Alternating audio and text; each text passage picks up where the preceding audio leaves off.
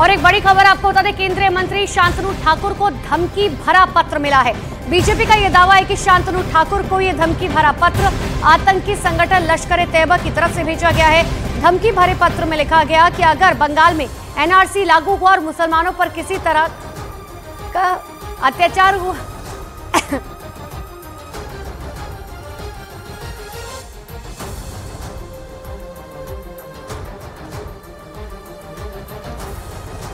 और इसके बहुत ही गंभीर परिणाम होंगे और ठाकुर बाड़ी में शांतनु ठाकुर का घर जला दिया जाएगा इस तरीके की धमकी दी गई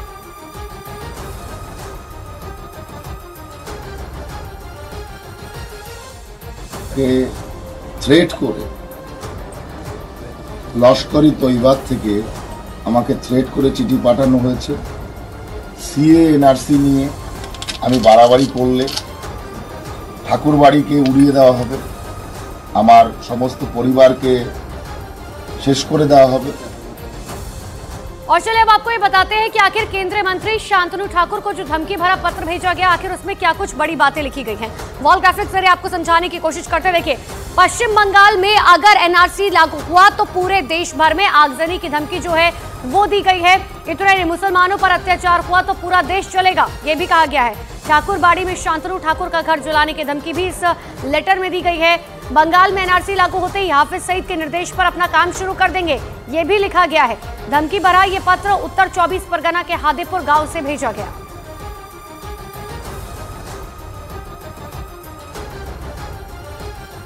दावा किया जा रहा है कि बीते करीब चार दशक में पूर्वांचल में यह पहला ऐसा लोकसभा चुनाव होगा जो बाहुबलियों के प्रभाव से मुक्त होगा। क्योंकि दावा किया जाता था कि पहले माफिया डॉन मुख्तार और अतीक अहमद अपने प्रभाव वाली सीटों पर चुनाव में जमकर धांधली करते थे। और अपने समर्थकों और करीबियों को जितवाने के लिए हर हथकंडा अपनाते थे। दावा किया जाता है कि मुख्तार अंसारी या अतीक अहमद भले ही लंबे वक्त से जेल में बंद थे, लेकिन हर चुनाव पर उनका प्रभाव रहता था। राजनीतिक संरक्षण की वजह से जेल में बैठकर ही वो किसी भी उम्मीदवार को जितवाने और हरवाने का दम रखते थे। और उसी संरक्षण के दम पर दोनों माफिया सरगना ने करीब चार दशक तक पूर्वांचल के अलग अलग जिलों में अपना दबदबा बनाए रखा था। कहते हैं कि एक वक्त पूर्वांचल के कम से कम बारह जिलों में इन दोनों गैंगस्टरों की तूती बोलती थी। और दावा किया जाता है कि मुख्तार और अतीक के प्रभाव वाले इन जिलों में सियासत में पत्ता भी उनसे पूछ कर ही हिलता था।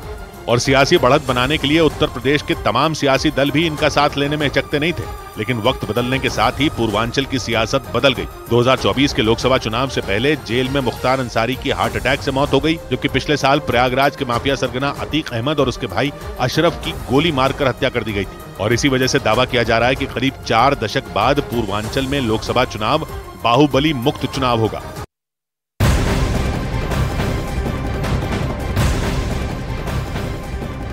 और एक बड़ी खबर आपको बता दें, दिल्ली शराब घोटाला केस में अरविंद केजरीवाल की गिरफ्तारी को चुनौती देने वाली याचिका पर आज दिल्ली हाईकोर्ट अपना फैसला सुनाएगी। दिल्ली शराब घोटाला केस से जुड़े हुए मनी लॉन्ड्रिंग के मामले में ईडी ने 21 मार्च को अरविंद केजरीवाल को गिरफ़्तार किया था। अभी वो न्यायिक हिरासत में तिहाड़ जेल में बंद है। अरविंद केजरीवाल की तरफ़ से गिरफ्तारी के खिलाफ दिल्ली हाईकोर्ट में याचिका लगाई गई थी। दिल्ली हाईकोर्ट ने तीन अप्रैल को सुनवाई के बाद फैसला सुरक्षित रख लिया था। दोपहर करीबन ढाई बजे फैसला आ सकता है। बड़ी जानकारी आपको दे रहे हैं, जहाँ पर आज दिल्ली हाईकोर्ट अपना फैसला सुनाएगी हालाँकि इस पूरे मामले पर सुनवाई पहले ही हो चुकी है और फैसला सुरक्षित रखा गया था। लेकिन अब इस पूरे मामले पर आज फैसला आएगा और देखने वाली बात होगी कि आखिर क्या कुछ फैसला आता है। क्योंकि जिस तरीके से ईडी की तरफ़ से गिरफ्तारी की गई है, उसको लेकर इस पूरे मामले में सुनवाई हुई।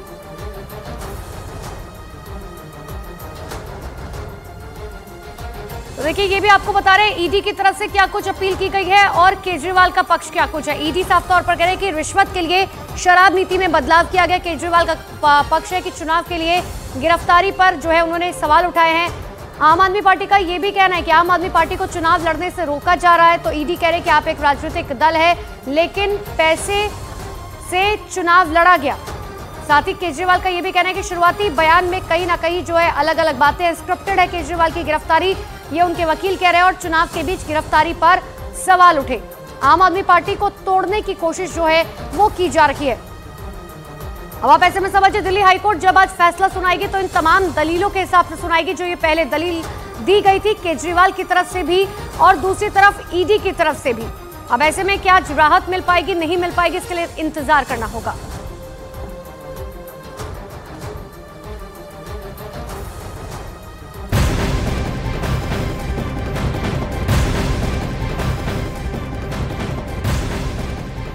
दिल्ली में हुए शराब घोटाले पर बीजेपी सांसद मनोज तिवारी का बयान सामने आया। उन्होंने कहा कि जाँच एजेंसियाँ घोटाले की जाँच में जुटी है। अरविंद केजरीवाल ने शराब घोटाले में आतिशी और सौरभ भारद्वाज का नाम लिया और इस घोटाले में शामिल किसी भी आरोपी को बख्शा नहीं जाएगा। तो मनोज तिवारी की तरफ़ से कहा गया कि देखिए, केजरीवाल ने ही आतिशी का नाम लिया है। केजरीवाल ने सौरभ भारद्वाज का भी नाम लिया। जिस जिसका नाम लिया है, किसी को भी बख्शा नहीं जाएगा। मनोज तिवारी की तरफ़ से अरविंद केजरीवाल के ऊपर यह बड़ा निशाना साधा गया। घोटाला इतना बड़ा है कि निश्चित रूप से इसमें जो भी दोषी है, वहाँ तक तो पहुँचने की कोशिश करेगी ही जाँच एजेंसी। अब रही बात कि इस शराब घोटाले में आतिशी और सौरभ भारद्वाज, आप दोनों का नाम अरविंद केजरीवाल जी ने दिया। और आतिशी जी ने अपनी प्रेस कॉन्फ्रेंस में दुर्गेश पाठक और राघव चड्ढा जी का नाम दिया। तो मेरा मानना है कि जब ये लोग खुद ही बता रहे हैं कि इस घोटाले में ये ये भी हैं तो जाँच एजेंसी को ये जाँच तो करनी पड़ेगी। और मेरा मानना है कि जो निर्दोष है, वो सत्य थोड़ा देर परेशान हो सकता है। लेकिन जो दोषी है वो बचना नहीं चाहिए। नेशनल कॉन्फ्रेंस के अध्यक्ष उमर अब्दुल्ला ने न्यूज़ 18 इंडिया से खास बातचीत की।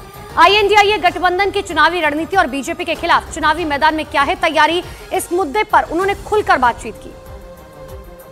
अब्दुल्ला साहब प्रधानमंत्री ने जो 370 पार का नारा दिया है, ज़ाहिर सी बात है, आप ही की तरफ़ देख के दिया होगा, कश्मीर की तरफ़ मैं क्या कह सकता हूँ अब क्या देख के दिया?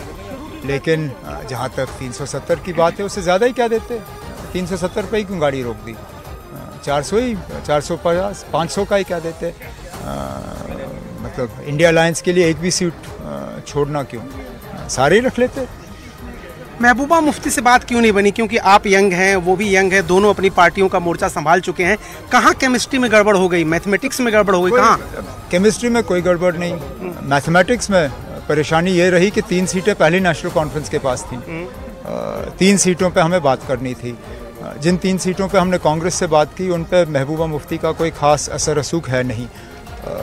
हमने उस वक्त भी कांग्रेस से कहा था कि हमें कोई मतलब इस पर आपत्ति नहीं है, कोई एतराज़ नहीं है।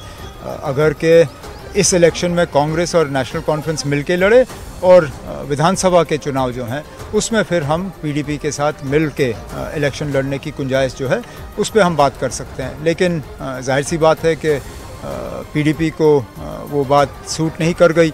उन्होंने कश्मीर की तीन सीटों पे अपने ऐलान किए हैं उम्मीदवारों के। अब आगे देखते हैं क्या होता है। सर इंडिया गठबंधन जो आप लोगों ने बनाने की कोशिश की थी और आपको देखा था मैंने बैठकों में हर जगह आप पहुँचे थे कोशिश तो पूरी हुई लेकिन आपको लग रहा है कहीं लड़ती हुई क्योंकि बीजेपी कहीं लड़ती हुई दिख नहीं रही है ये पार्टियाँ जो है वो पहले ही हार मान चुकी हैं। आपको लग रहा है कि आप लोग टफ कंटेस्ट दे पाए? किसने हार मानी? कहाँ? मुझे बताइए ना इंडिया अलायंस के किस पार्टी ने कहा है कि हम टक्कर देने के लिए तैयार नहीं हैं? या हम इस इलेक्शन में कामयाबी हासिल नहीं करेंगे? मुझे तो किसी को हार मानते हुए मैंने तो नहीं देखा। मैं जम्मू कश्मीर की बात करूँ, हमें तो लग रहा है कि मुकम्मल टक्कर न सिर्फ़ बीजेपी को जम्मू और उधमपुर की सीटों में, बल्कि जहाँ पे बीजेपी अपने सहयोगी दलों के साथ कश्मीर की तीन सीटों पे भी उनकी नज़र है। उस पर भी हम बीजेपी को शिकस्त दिलाएँगे। वो तो कह रहे हैं तीन सौ पार तो बीजेपी तीन सौ सत्तर के पार है। प्रधानमंत्री बनने जा रहे हैं। मोदी जी ये क्यों मुस्लिम लीग से कहीं उठा रहे हैं? कुछ कहीं ममता बनर्जी उठा रही हैं बांग्लादेश से। वो कह रहे हैं ये कंटेस्ट में ही नहीं है लड़ क्यों रहे हैं लोग? चुनाव आपको इंडिया शाइन याद है? मुझे तो अच्छी तरह हाँ, से याद दो हज़ार एक चीज़ का जो है हमें याद रखना चाहिए, जो वोटर पसंद नहीं करता।